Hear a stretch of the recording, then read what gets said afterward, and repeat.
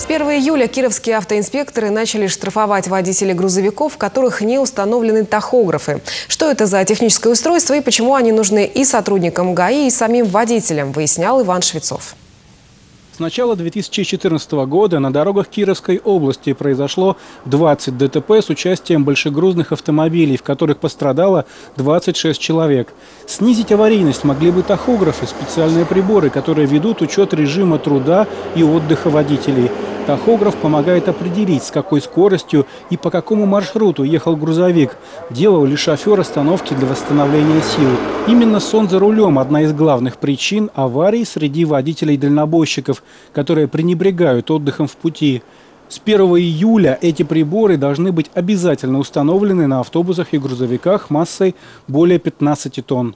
За установку неправильную, либо его отсутствие тахографа при перевозке грузов или пассажиров предусмотрена статья Кодекса административной ответственности Российской Федерации 1123, по которой предусмотрен штраф от э, тысячи до трех тысяч рублей, а для должностных лиц сумма штрафа соответствует от 5 до 10 тысяч рублей. Первый же тяжеловоз, который остановил инспектор ГАИ, оказался без тахографа.